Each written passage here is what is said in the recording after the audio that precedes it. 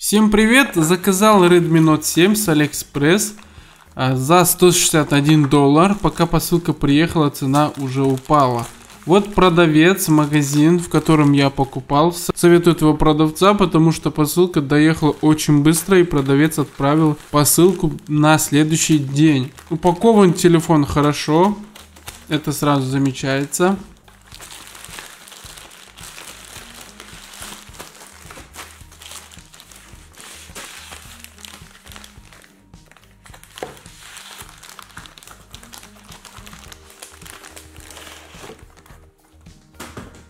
Вот так вот выглядит коробка.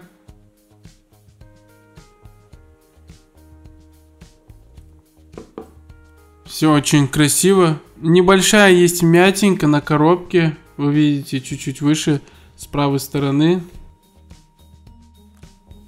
Давайте распечатаем коробку. Самое главное это, чтобы телефон был цел.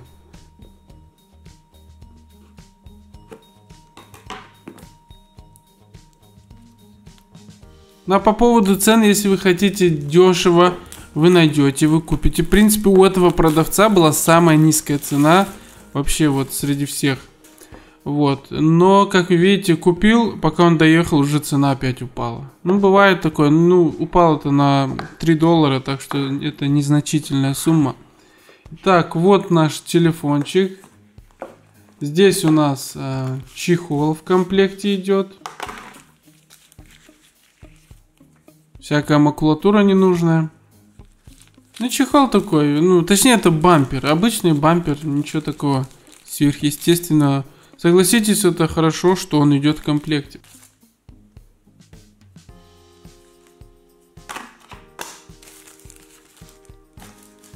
Вот так выглядит телефон, вроде как целенький.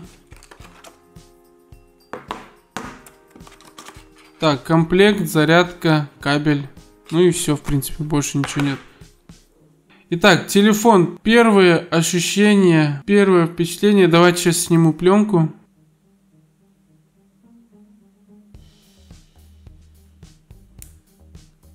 Напишите в комментариях, кто получает удовольствие, когда снимает пленку с экрана заводскую.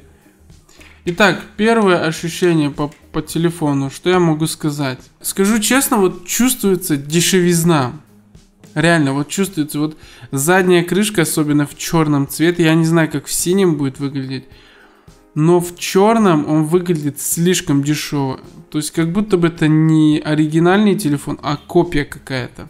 Еще хотел бы сказать, что телефон как будто бы толстый. Вот для нынешних смартфонов аппарат реально кажется толстым.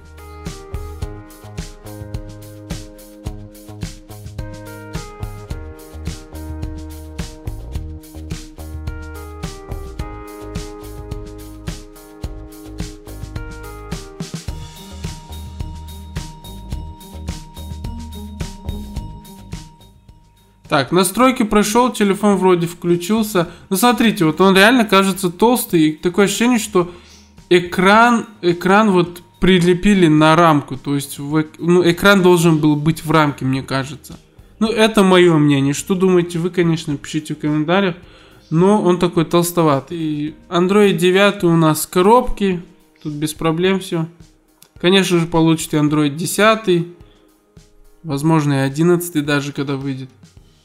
Загрузчик у нас заблокирован.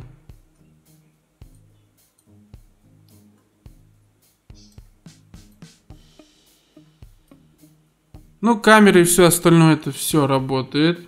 Еще бы не работало. Оболочка MIUI работает действительно быстро.